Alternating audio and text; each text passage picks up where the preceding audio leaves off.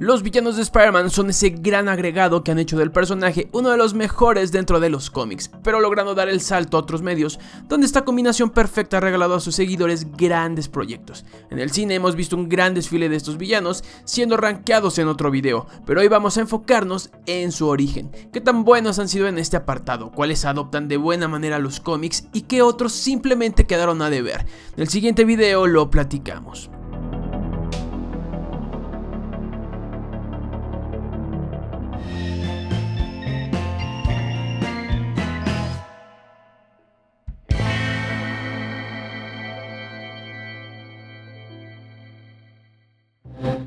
El Duende Verde, interpretado por Willem Dafoe en 2002, se sigue manteniendo como uno de los mejores villanos dentro de las películas de Spider-Man, en parte por ese origen y las motivaciones que tenía, las cuales en realidad le hacían un villano ejemplar, no tentándose el corazón a la hora de actuar. Su origen va encaminado a esta filosofía de Marvel que tiene que ver con los accidentes. En un intento por probar y perfeccionar su fórmula, obtiene sus habilidades, las cuales le hicieron más fuerte, volviéndole un poco más loco de lo que Norman ya era, calzando un poco más con lo mostrado en los cómics, donde se jugó al misterio con el personaje, creando la más grande rivalidad de Spider-Man en su historia. Para la secuela estrenada en 2004, Alfred Molina se encargó de dar vida al famoso Otto Octavius, un científico malvado que en los cómics obtuvo sus tentáculos en base a la misma fórmula, un accidente. En la película hay una gran diferencia respecto a su personalidad, haciéndole un hombre más bonachón que lo concebido originalmente en el papel, funcionando de diferente manera. No obstante, el origen de Doc Ock en la película es ejemplar, muy bien realizado y con la secuencia del quirófano que refuerza la dualidad entre la persona y estos tentáculos. Sobra decir que quien bautiza al personaje como un villano, dándole su nombre, es Jameson, o mejor dicho, Hoffman. De Sadman hemos hablado en diversos videos, en todos ellos dando cuenta del gran potencial que tenía, siendo desperdiciado por la entrelazada historia de Spider-Man 3. Su origen nuevamente es producto de un accidente, en esta ocasión generando en Flynn Marco un estado que le da la capacidad de convertirse y dominar los granos de arena. El agregado, a diferencia de los cómics, es que tiene un trasfondo mucho mejor elaborado, teniendo una hija a la que desea ayudar, siendo víctima de un accidente que le llevó a asesinar al tío Ben. En 2007 la transformación del personaje fue una de las secuencias más costosas y mejor detalladas, siendo recordada hoy en día de muy buena manera por todo el público.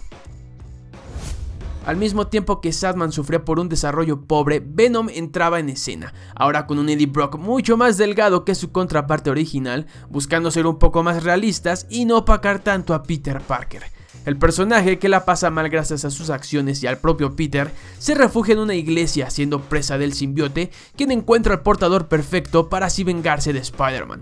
Esta es una fiel calca a la historia original del personaje en los cómics, siendo muy bien adaptada a diferentes medios como la televisión, dándole a Venom un origen maravilloso que de poco sirvió pues su tratamiento posterior no fue el más acertado. Sin embargo, hasta el día de hoy es un diamante en bruto que vale la pena volver a ver. Por si fuera poco tener dos villanos en una película, Spider-Man 3 también presentó a un nuevo duende, interpretado por James Franco, mejor conocido como el eterno Harry Osborn. Sobre el personaje, hasta el mismo actor ha dicho sentirse un poco apenado, pues está lejos de emular a su padre, entregando un villano bastante chato del cual no conocimos su origen en forma, haciéndonos ver que utilizó y mejoró la fórmula de Norman en un intento por vengarse de Spider-Man. El reinicio de 2012 trató de jugar con la idea del realismo, teniendo en Cork Connors al villano en turno, interpretado por Rhys Ifans, el médico que tiene conexión con Oscorp, y Norman Osborn toma un camino muy similar al visto en 2002, intentando probar su fórmula con él mismo a causa de la presión, obteniendo resultados bastante similares. En los cómics, Connors hace algo parecido siendo conocido por transformarse en el lagarto debido a un experimento que salió mal y su inalcanzable deseo por recuperar su brazo. Y aunque el funcionamiento del villano en la película es bueno, parecía que podía ir mucho más allá, tal vez quedándose un poco corto tomando en cuenta el potencial de este villano. No hay peor villano en las películas de Spider-Man que Electro, y eso lo hemos demostrado en diversas ocasiones. Todo comienza mal desde su origen, el cual se deslinda del clásico origen de los cómics, donde Max Dillon tiene un accidente con la electricidad. Acá, aunque si hay un accidente, continuando con la tradición de dichos eventos, se inmiscuyen algún tipo de anguilas que para ser honestos nunca sabemos la razón de por qué estaban ahí, creando estos huecos argumentales que diezman a toda la película. Después se recompone un poco la cosa, mostrándolo como un peligro para la ciudad, aunque para ser honestos, al igual que su origen, su desempeño es bastante pobre. A diferencia del primer Harry que parece lucir siempre atractivo, la versión de Dave Dehan en The Amazing Spider-Man 2 sufre una de las transformaciones más espeluznantes de todo el género. En busca de una cura para su extraña enfermedad heredada por su padre, Harry intenta probar con el suero de Oscorp, algo que como vimos en el pasado no es una buena idea. Al parecer nada de lo que sale de esta compañía es bueno. Teniendo una versión extendida que fue removida del corte final, la transformación de Harry es todo lo que uno quisiera ver a la hora de plantear el origen de un villano, creando una contraparte perfecta con Spider-Man, enfrentándose a muerte en la secuencia final.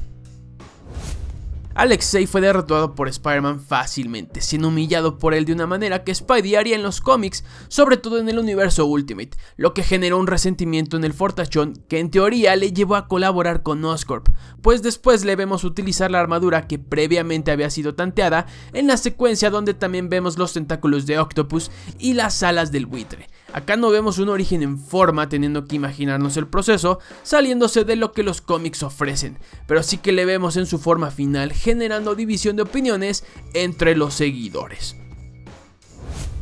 La franquicia de Marvel Studios, es decir, el segundo reinicio del personaje y la tercera saga de Spider-Man, optó por hacer las cosas de manera muy diferente. Spider-Man Homecoming, la primera película en solitario de Spidey en este universo, muestra a Adrian Toomes, un hombre de familia que pierde todo, en teoría gracias a Tony Stark, lo que genera un resentimiento por este y toda la comunidad de héroes, incluyendo los adinerados de la ciudad. En realidad nunca vemos un origen como tal del personaje, quien tampoco parece ser villano en potencia, demostrando quizá mejores motivantes que el resto. Esto en gran medida calza bastante con su versión de los cómics, donde el buitre solo es un viejo resentido que busca el camino fácil, convirtiéndose en un ladrón de poca monta. De Misterio se habló bastante antes del estreno de Spider-Man Far From Home, la esperada secuela de esta nueva versión del personaje. Sin embargo, aunque funcionó de maravilla como una verdadera trampa para el joven Peter Parker, dejó un muy mal sabor de boca entre los seguidores, pues nuevamente se utilizó el recurso de ligarlo a Tony Stark. Ahora, al igual que Adrian Toomes, Spider-Man tenía que enfrentar a un sujeto que en realidad tenía problemas con su mentor, aprovechando la poca experiencia del chico para sacar ventaja de la situación. De la misma manera, la historia de Quentin Beck adapta las bases del personaje en los cómics, utilizando sus conocimientos en los efectos especiales para generar todo tipo de ilusiones, demostrando que no es necesario sufrir accidentes y obtener habilidades sobrehumanas para ser un villano. Con tantos villanos en las películas del personaje, dime cuál de todos estos es tu favorito, quién tiene el mejor origen y qué otros esperas ver en un futuro. Hazme saber todas tus opiniones en los comentarios. No olvides suscribirte al canal para saber más cosas sobre Spider-Man y sus películas, seguirme en mis redes sociales y compartir este video con todos tus amigos. Nos vemos hasta la próxima.